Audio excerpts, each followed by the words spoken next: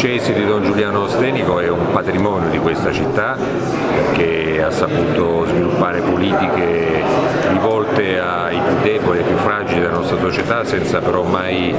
considerarle tali, ma considerarle invece come persone, ha messo al centro la persona, il carcerato, il tossicodipendente, il malato di mente non è mai stato considerato come tale ma come persona. Io credo che questo sia l'atteggiamento più virtuoso e qualificante dell'attività che ha svolto Don Giuliano e il CES a Modena. E io credo che il Comune, così come ha fatto in passato, dovrà continuare a lavorare in, stretto, in stretta relazione, in stretta collaborazione con un'idea di coprogettazione perché il Comune deve sempre governare di più ma gestire anche di meno e deve gestire invece insieme a dei soggetti che nella società modenese hanno costituito appunto e costituiscono un patrimonio vero. E oggi la società modenese come tutte le altre soffre di una condizione in cui la forbice sociale si va allargando e il fattore della coesione sociale che ha fatto la fortuna di questi territori tende a sfibrarsi. E questo creerà nel medio-lungo periodo problemi seri di tenuta appunto sociale, quindi bisogna recuperare immediatamente questo terreno, bisogna mettere in campo politiche di crescita e sviluppo che siano a 360 gradi, non solo in una direzione ma anche appunto nella direzione della qualità sociale, civile, culturale ed educativa di questa città. Insieme al CEIS, insieme ad altre istituzioni laiche e religiose potremo e dovremo continuare a sviluppare insieme una coprogettazione lei descrive il CES come l'albergo del buon samaritano e un ospedale da campo. Ecco. Volevamo chiederle se ci può spiegare che significato hanno per lei eh, queste definizioni e perché le ritiene importanti per comprendere l'opera del CES. Eh, perché, eh, perché ragione Papa Francesco quando dice che il mondo è un ospedale da campo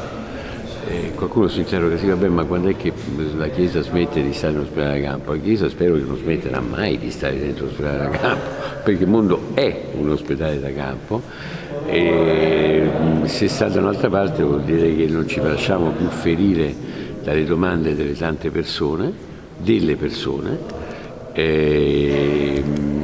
e che pensiamo opposto l'ospedale da campo e l'essere Chiesa mentre la Chiesa è anzitutto una madre che cura, che ha attenzione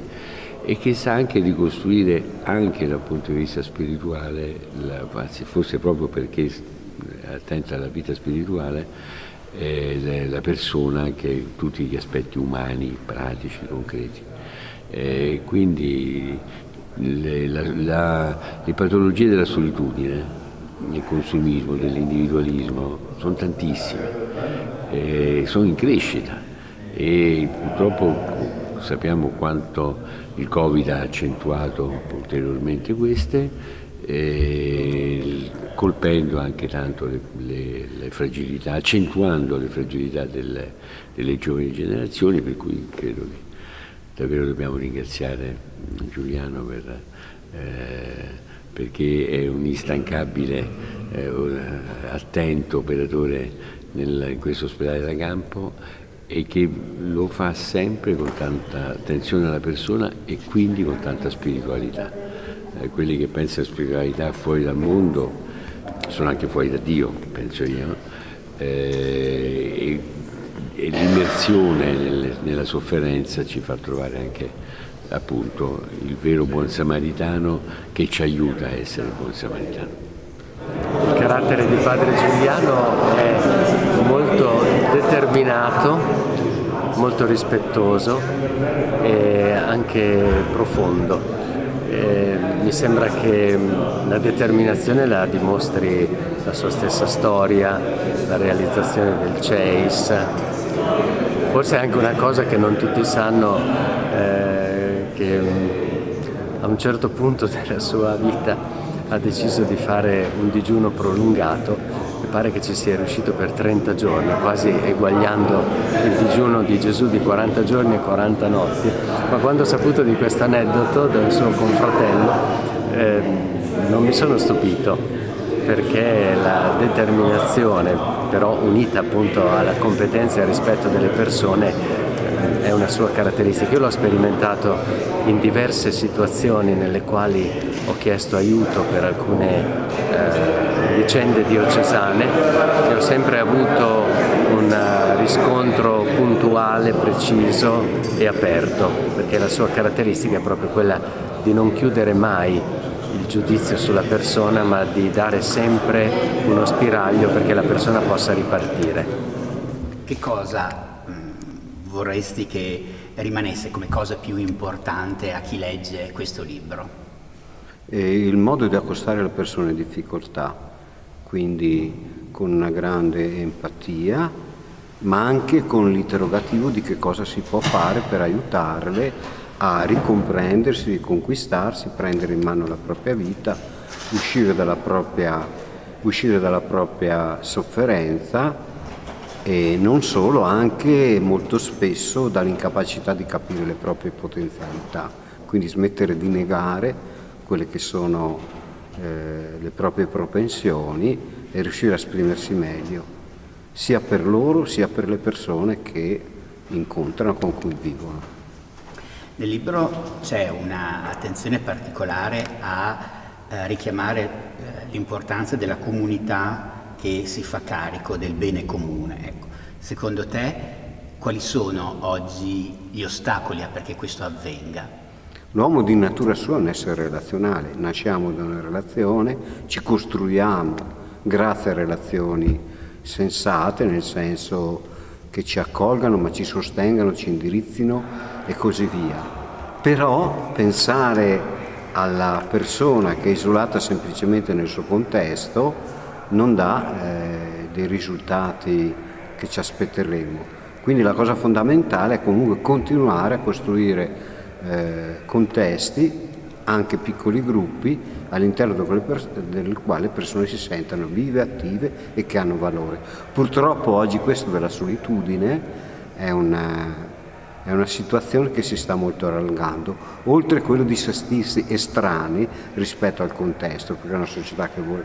che va troppo, che è troppo velocizzata, tende ad essere molto specializzata, si perdono subito le competenze che si, per, si pensano necessarie ed è una corsa che alla fine incide moltissimo sulla, eh, sulla felicità personale. Nel libro abbiamo visto c'è un omaggio speciale di Roberto Benigni. Come mai questo, questo, evento che è una cosa un po' straordinaria? Sì, straordinaria. Beh, Roberto Benigni si è rivelato per quello che è, una persona estremamente sensibile. A quel tempo c'era il tema della, dell'AIDS, dovevamo sistemare Casa San Lazzaro chiedemmo a lui che durante i suoi spettacoli potessimo offrire il nastrino rosso, che era il simbolo della lotta contro l'AIDS, e, acco- e raccogliere delle offerte. Lui, sensibilissimo a questo tema e comunque in generale alle difficoltà, ci concesse questo. Io poi gli chiesi appunto un, eh, di fare alcune frasi e lui le fece nonostante che la sua segreteria disse non l'ha mai fatto per nessuno. Con la presentazione di una ragionevole follia si conclude il percorso iniziato nel 2022 per festeggiare i 40 anni del gruppo CEIS e della fondazione CEIS. Nel 2022 ci siamo dedicati a raccontare la storia del CEIS, l'evoluzione dei suoi servizi attraverso un insieme di interviste, di testimonianze eh, prese da coloro che direttamente hanno operato nel, nel CEIS, che si è poi conclusa a dicembre 2022 nella sala del Consiglio Comunale di Modena proprio con un convegno sull'importanza della comunicazione sociale. Il 2023 è stato invece un anno che abbiamo dedicato alla riflessione tra operatori e grazie a un'opera monumentale, il, il, manuale Intuizioni di Bene che Padre Giuliano ha scritto e che ha dato conto della, delle motivazioni, delle strutture teoriche e sociologiche e filosofiche e anche religiose che sostengono l'impegno del CEIS e il modello di lavoro del CEIS. Di questi due percorsi, quello sulla storia e quello appunto sulla metodologia del SEIS, abbiamo poi realizzato due eh, siti eh, che sono consultabili, aperti a tutti, operatori e eh, cittadini. Abbiamo poi però ritenuto importante anche eh, così un, un'opera che è appunto una ragionevole follia che eh, invece abbiamo dedicato a una conoscenza più diffusa di come la storia personale di padre Giuliano, sua, eh, il suo percorso di vita e di fede all'interno dell'ordine deoniano si siano intrecciati con i bisogni dei, dei, cittadini, con i bisogni di un territorio, quello di Modena, ma oggi anche quello di Bologna, di Parma e più in generale della nostra, della nostra regione. Eh, si conclude quindi una, un'opera monumentale di questi eh, tre anni che però credo diano testimonianza di una volontà del SEIS di eh, raccontare in modo onesto e trasparente quello che avviene nella società.